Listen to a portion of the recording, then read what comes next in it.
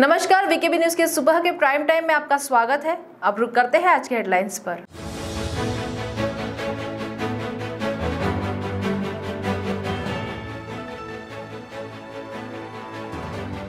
विधान परिषद चुनाव के मद्देनजर जिलाधिकारी ने सभी दलों की ली बैठक।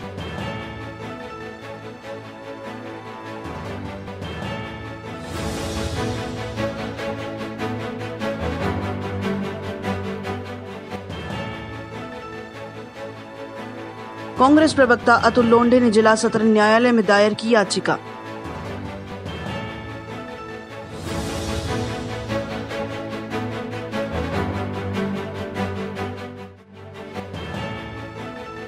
महिलाओं ने अस्त होते ही सूर्य को अर्घ दे मांगी खुशहाली, छठ पर्व को लेकर नागपुर में उत्साह का माहौल।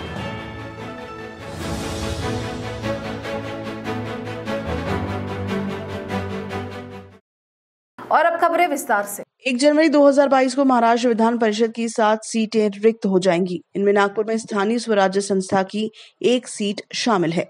कलेक्टर विमला आर ने सभी राजनीतिक दलों की बैठक बुलाकर आचार संहिता का पालन सख्ती से करने को कहा। उन्होंने कहा कि चुनाव में ज़िले में सत्ता और सरकारी तंत्र का दुरुपयोग नहीं होगा। साथ ही किसी भी मंत्री स्तरीय बैठक में सरकारी अधिकारी शामिल नहीं होंगे और किसी भी मंत्री को ज़िले में बैठक करने की अनुमति नहीं होगी। जिलाधिकारी ने कहा कि जिला निर्वाचन अधिकारी की अनुमति के बिना स्थानीय निकायों की अत्यावश्यक बैठकें भी नहीं की जा सकती। इस दौरान किसी भी तरह की राजनीतिक घोषणा, सरकारी कार्यक्रमों की घोषणा नहीं की जा सकेगी। सांसद, विधायक निधि से कोई नया काम नहीं हो सकेगा। इस संबंध में होने वाले खर्च पर जिला माध्यम प्रमाणन एवं निगरानी समिति का नियंत्रण होगा। सोशल मीडिया पर अनाधिकृत प्रचार बल्क एसएमएस जैसी सेवाओं की अनुमति नहीं होगी। जिन जिलों में विधान परिषद चुनाव की घोषणा की गई है, उनमें मुंबई, कोल्हापुर, धुले, नंदुरबार, अकोला, बुल्ढाना, वाशिम, नागपुर, सोलापुर और अहमदनगर शामिल है। चुनाव की घोषणा के तुरंत बाद ज़िले में आचार संहिता लागू हो गई। इसीलिए उन्होंने बैठक में अपील की कि मतदाताओं को प्रभावित करने वाले किसी भी प्रलोभन से बचे। अन्य चुनावों की तरह इस चुनाव में भी आचार संहिता होगी। उन्होंने सभी राजनीतिक दलों से यह सुनिश्चित करने को कहा कि कहीं भी आचार संहिता का उल्लंघन न हो। आचार संहिता जो हमेशा की तरह जो इलेक्शन कमीशन ऑफ़ इंडिया के द्वारा निर्देशित किए गए और निर्देश दिए गए हैं हमें। उसका पालन इस निवडणुक में भी, इलेक्शन में भी होगा। और उसके हिसाब से हमारे पास इलेक्शन कमीशन ऑफ़ इंडिया के गाइडलाइंस आए हैं। मुख्य निवडणुक अधिकारी जो है महाराष्ट्र राज्य के, उन्होंने भी हमें डायरेक्टिव्स दिए हैं, जो साधारण तौर पे कुछ नए पॉलिसीज़ हैं या कुछ नए प्रोग्राम्स अनाउंस नहीं कर सकते हैं। रेस्ट हाउस का यूज़ है, व्हीकल का यूज़ है या कुछ अगर हमें सोशल मीडिया का यूज़ करना है, प्रेस में इंफॉर्मेशन देनी है प्रोग्राम्स आयोजित करने हैं व्हीकल्स किस तरह से इस्तेमाल किया जाए, वो यूजुअल रूटीन जो होते हैं उसी का ही इस बार भी हम वही फॉलो करेंगे। और इलेक्शन प्रक्रिया जो है, ये 16 नवंबर को नोटिफिकेशन हो जाएगा। लास्ट डे ऑफ़ नॉमिनेशन जो ट्वेंटी थर्ड नवंबर है, इसकी जो स्क्रूटनी की डेट है, वो ट्वेंटी है विड्रॉल ट्वेंटी सिक्स नवंबर को है और इलेक्शन का डेट जो है टेंथ दिसंबर 2021 को है। इलेक्शन का टाइम सुबह आठ बजे से चार बजे तक रहेगा और जो members of elected bodies local bodies हैं, ये सारे इसके इलेक्टर्स रहते हैं। साधारणतः कुछ 613 के करीब हमें इन्फॉर्मेशन आई थी। अभी वोटर्स लिस्ट हम फाइनल कर रहे हैं। ज़िला परिषद से महानगर पालिका से और नगर परिषदों से हमने अब उनके फिगर्स मांगे हैं। ये जल्दी हम फाइनलाइज कर देंगे और उसके हिसाब से सारी वोटिंग प्रक्रिया और इलेक्शन प्रोसेस की जाएगी। पूर्व गृह मंत्री अनिल देशमुख को लेकर न्यूज़ चैनल पर चल रही चर्चा के दौरान कांग्रेस को वसूली में हिस्सा मिलने का दावा बीजेपी नेता किरीट सोमैया ने किया था। जनता के बीच कांग्रेस की बदनामी करने के लिए जानबूझकर इस तरह के बेबुनियाद आरोप लगाए जाने का हवाला देकर कांग्रेस प्रवक्ता अतुल लोंढे की ओर से सोमैया के खिलाफ मानहानि का दावा दायर किया गया। जिस पर सुनवाई के बाद जिला सत्र न्यायालय की कनिष्ठ दीवानी न्यायाधीश बीवी सावरकर ने किरीट सोमैया को नोटिस जारी कर 20 नवंबर तक जवाब दायर करने के आदेश दिए। विशेषतः सोमैया ने इस मामले में अस्थायी राहत देने के लिए अर्जी दायर की थी, किंतु अदालत ने राहत देने से फ़िलहाल इनकार कर दिया। कोर्ट में दायर दावे में लोंढे ने कहा कि सोमैया ने झूठे आरोप लगाकर महाविकास आघाड़ी सरकार द्वारा वसूली करने का खोखला दावा किया। यहाँ तक कि इसमें कांग्रेस को 20 प्रतिशत का हिस्सा मिलने की जानकारी न्यूज़ चैनल पर चर्चा के दौरान उजागर की।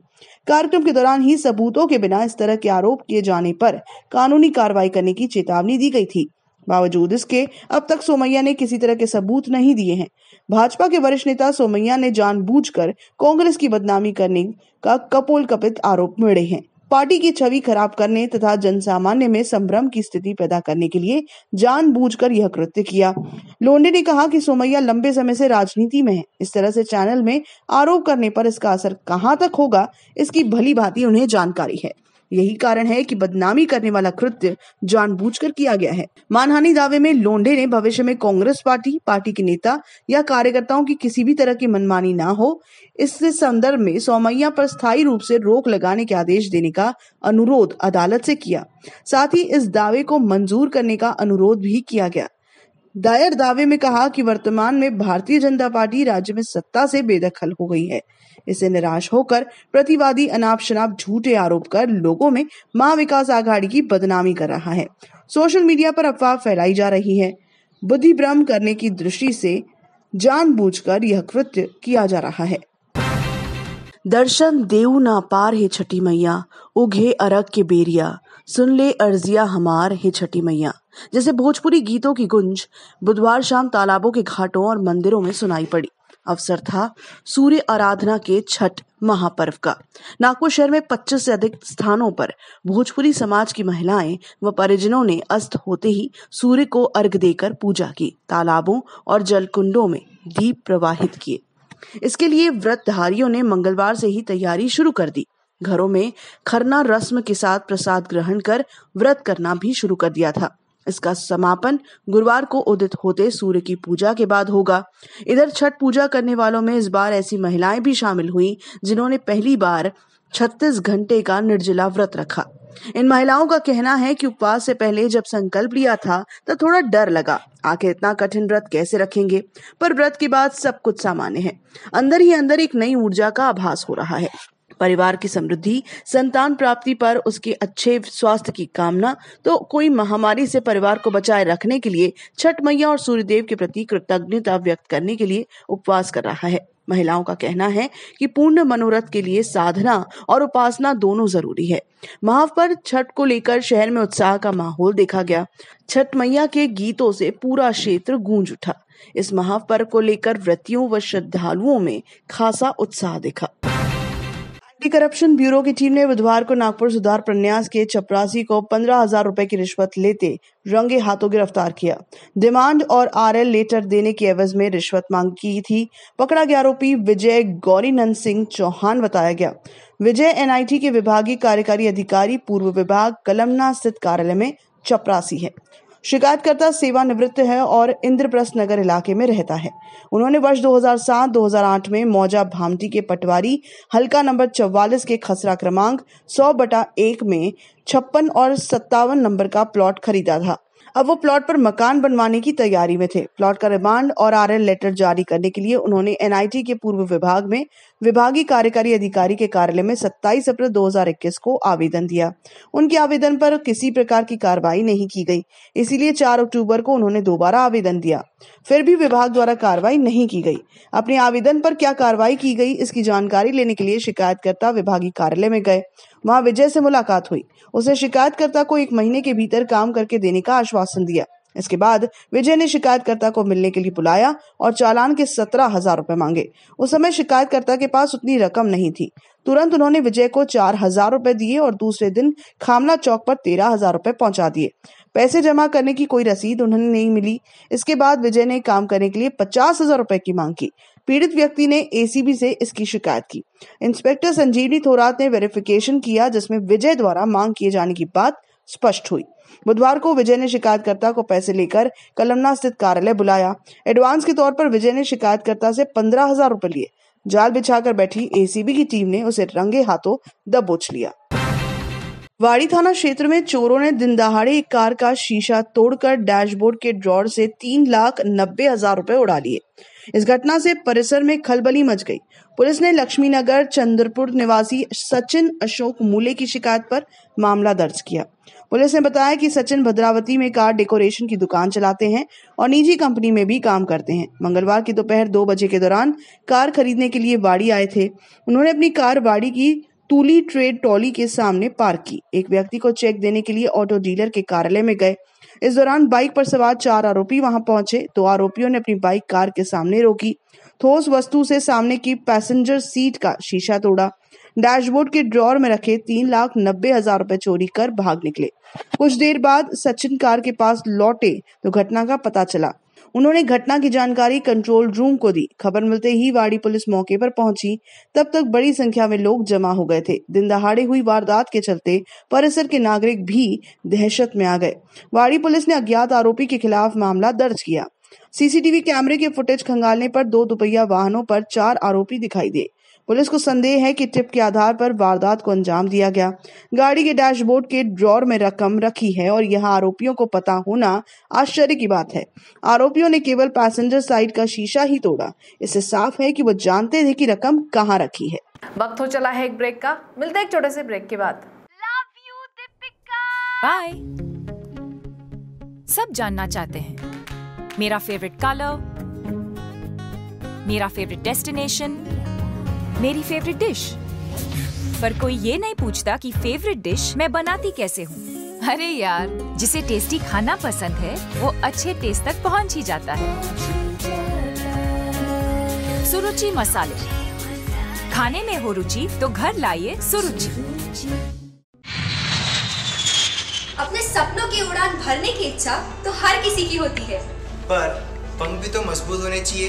जो देता है एविएशन फ्लाईवील एविएशन एकेडमी एक ऐसा इंस्टीट्यूट है जहाँ पर एयरलाइंस एंड एयरपोर्ट हॉस्पिटैलिटी और टूरिज़्म मैनेजमेंट साथ ही यहाँ campus interview guidance by industry expert practical training at airport expert faculty personal grooming जैसे कई सारे बेनिफिट्स आप पा सकते हैं। Flywheel aviation academy one degree three job opportunities Flywheel aviation academy gives you a degree और diploma with a job Flywheel aviation academy 365 Gandhinagar L LAD college square decide Karnataka bank Nagpur. Break के बाद आपका स्वागत है। नागपुर ज़िले में corona virus अब अंतिम साँसें गिन रहा है। पिछले महीने भर से मरीजों की संख्या दहाई के आंकड़ा पार नहीं कर पाई थी लेकिन बुधवार को अचानक 11 नए पॉजिटिव मिले इससे प्रशासन भी एक बार फिर सतर्क हो गया है।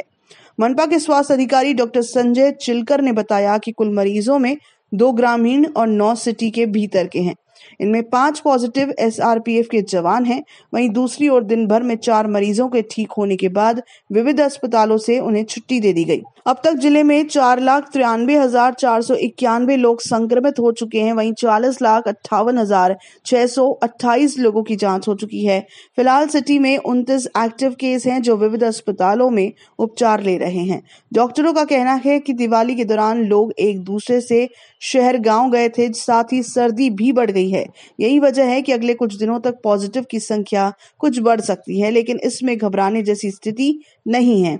अभी मास्क आवश्यक है इन दिनों सर्दी, जुकाम और खांसी के मरीज़ बढ़ रहे हैं। इस हालात में सोशल डिस्टेंसिंग का पालन बेहद अनिवार्य है।